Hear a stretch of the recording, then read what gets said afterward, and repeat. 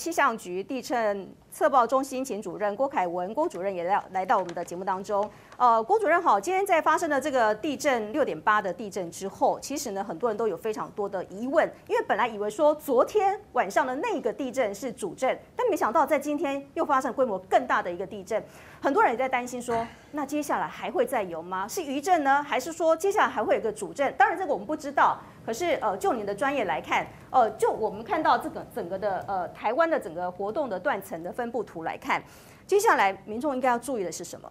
好，我是到前面吗？呃，您您可以直接在这边说。好，在这边说。好，谢谢。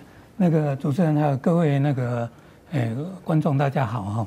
那个我我们通常哈，就是说发生了一个规模六点几的这个这个地震哦，那我们通常就是。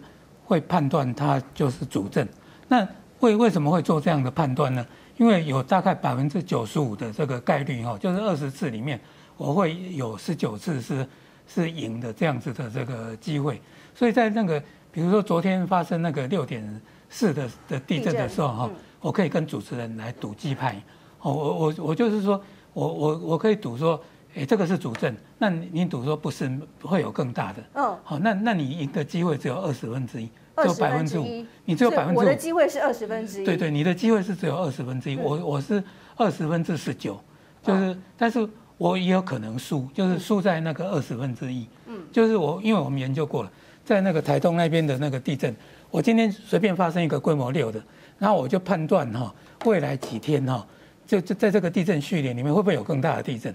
那百分之那个五是会，啊百分之九十五是不会，哦，所以所以我们通常哦，那个我们地震中心其实其实地震是没办法预测的啦。那我我昨天那个做了两两个判断哈。是。第一第一个判断就错了嘛，我说这个是主震嘛。嗯。然后我第二个判断说，诶，它最大的那个规模哈，最大规模就是就是老大是六点四，那老二会有多少呢？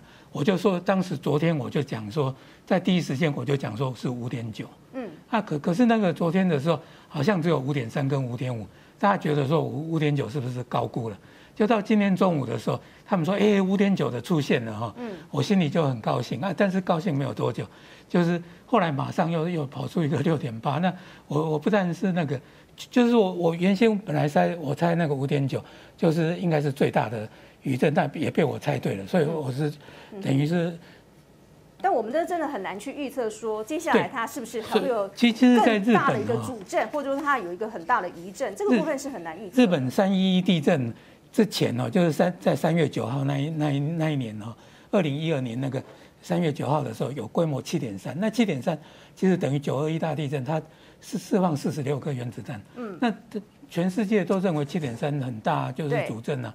就没想到两天后就发生那个那个就就是福岛那个什么大海啸啊那那个那个地震，那这个是所有所有的专家通通都跌破眼镜。嗯，就是我们通常讲一个七点三就就已经够大了，后面会更大的那个机会，反正大概就是都是在几率都是在个位数的啦。呃，主任，我还想问，就是说，因为刚刚我也问了戴立刚这个问题哦，因为在昨天发生了六点四的地震之后，其实呢，中央气象局也有做一个回应，他说呢，这个发生六点四的地震呢。呃，这次昨天释放的能量是过去的三十倍，说非常的特殊，跟关山断层呢是没有直接的关联，可能会有不了解的构造存在。好，这个讲完之后，其实很多的民众非常的担心，想说原来还有一个什么断层我们不知道吗？或者说还有一个什么构造我们不晓得，没有掌握到吗？所以我们对地震的掌握已经不是那么的。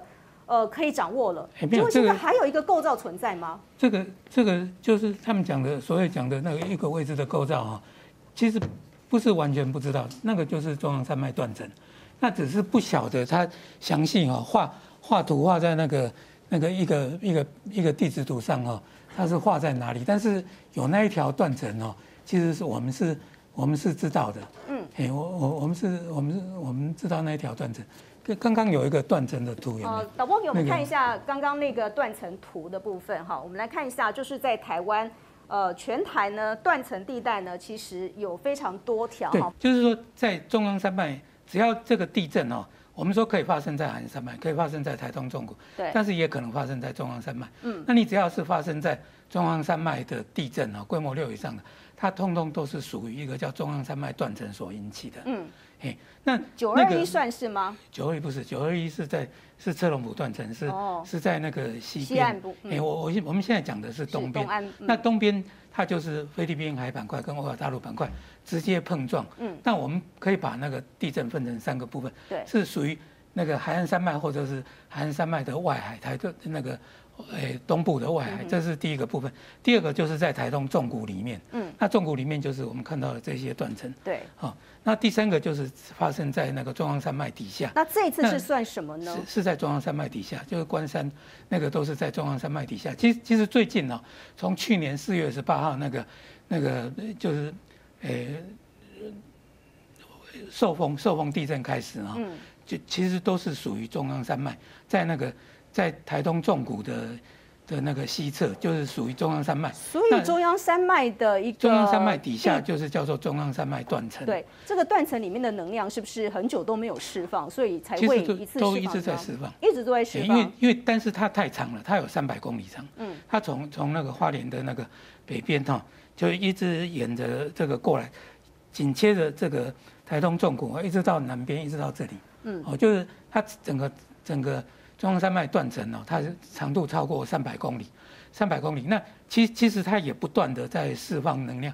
去年的那个从那个诶受风受受风，还有那个诶诶光复，嗯，那个瑞瑞穗，哦，那个封封滨，还有那个池上那个关山，其实它陆续，它整个三百公里来看哦，嗯，陆陆续续都有在发生那个地震。那陈国昌昨天那个陈主任讲说，那个在那个。诶，关山附近十五公里内，对，好像最近五十年那个地震比较少，就只有只有七没有六的，只有只有七个五点几的。嗯，但是其实一般我们看那个地震哈，对，都要看两三百年，不是看五十年。你你看九二一地震哈，我们它的前五十年哈。那个就一九九九年的前五十年有地震吗？没有。它的一九九九年的那个九一大地震，它的上一次的这么大的地震啊，是发生在两百七十三年前。嗯。那我们我们那个诶眉山的那个一九零六，还有那个新竹台中列震，那个那个周期都是两三百年，所以看六十年是不准的。哦，所以昨天这个气象局所讲的，只有二十年来看的话，五十年来看的话，其实是不太准的。但是我们看到，就是从昨天的地震到现在，因为前前后后余震非常的多，算出来在到今天下午的这个最大的这个主震之前哦，有大概算一算有七十三个前震，所以它的。呃，这个算是好吗？就是说它的能量释放之后，接下来对于是不是还会再发生更大的一个主震或更大的余震来讲的话，其实算是好的，因为它的余震非常的多。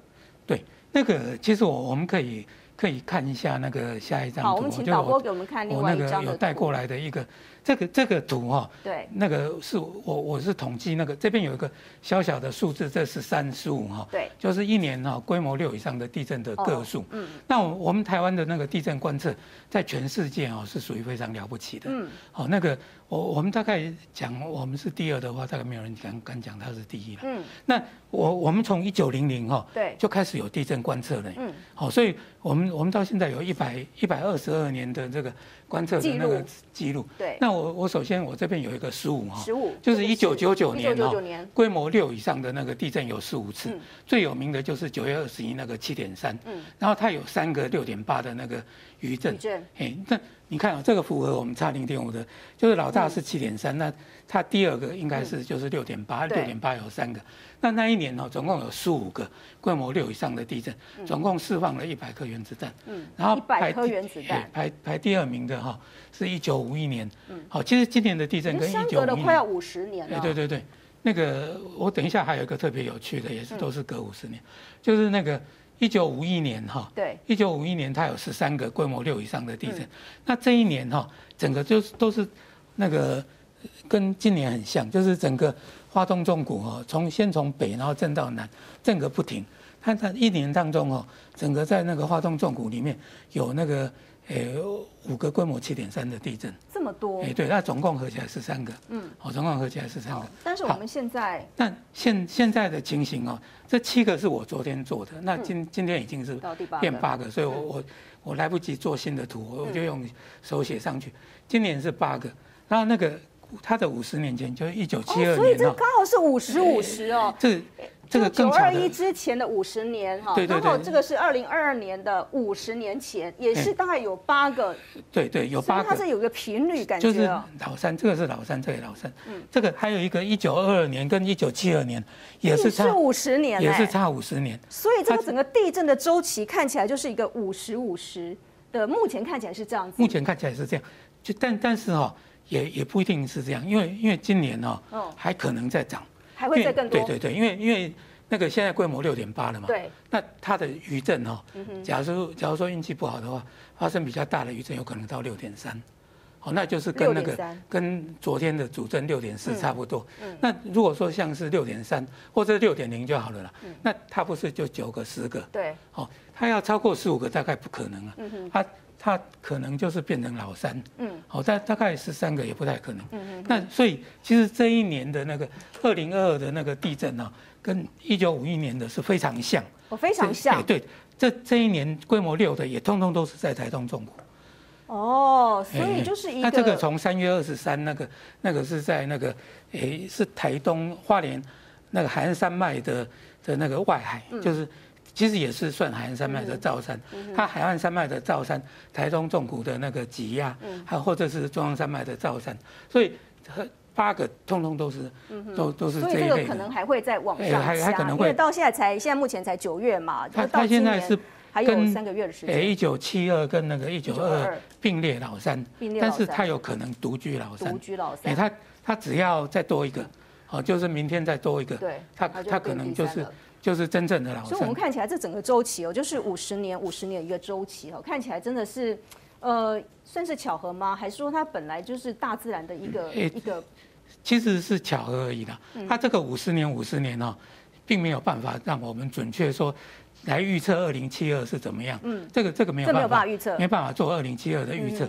那唯一可以做一个预测的哈，就是我在这边，就是只能说，因为地震那么多，那个灾灾害那么大，对，那个我我我我祈愿哈，那个明年哈是地尽人安。嗯，好，那那为什么我会做这样子的一个？一个一个祝愿，就是说希望大家明年能够能够很很安那个，就是很平安。嗯，我我们举个例子，我们假设时间把它拉回九二一大地震那个那一年，就是就是有四五个那个规模六的地震。那那时候九二一到年底哦，一百天，那一百天里面有释放一百颗原子弹，那每天每天就像在坐船一样哈，摇摇晃晃，摇摇晃晃。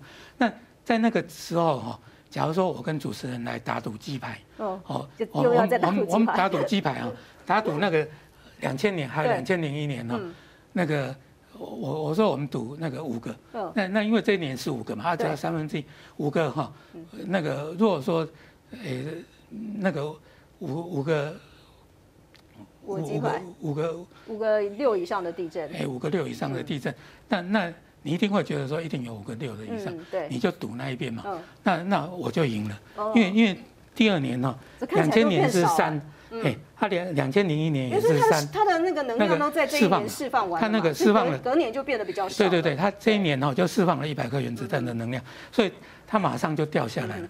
然后我我们再看呢，那个一九五一年呢，十三个以后哦，第二年一九五二年呢。一个才一个，哎，所以只要是前一年它的能量释放很多的话，隔年可能可能一个就非常少。那那一九五三年呢？嗯，零个，零个。哦，阿姨一九五四年一个一个。所以接下来几年就就是它的能量释放对对，连连续三年都，然后你看这边都零个零个零个零个。主任就是你你还有另外呃的不是？然后你看那个一九一九二二年八个以后啊。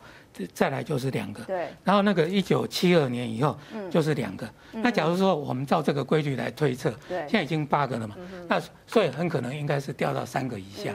哦，所以所以我我这只是一个非常好，就是说，诶，一个一个一个祝愿啊，一个祝福，希望说，因为因为今年那么惨嘛，那希望明年哦有八个字，对，就是风调雨顺，地静人安。那其实这三年我们都风调雨顺，台风那个台风都。过门而不入，所以就风就调了嘛，就没有把我们吹得乱七八糟。那我们明年要用水，那个雨水甩进来哈，北北北部石门水库、新山水库都满了嘛哈，所以风调雨顺。那明年希望说那个规模六的地震呢，降到三个以下。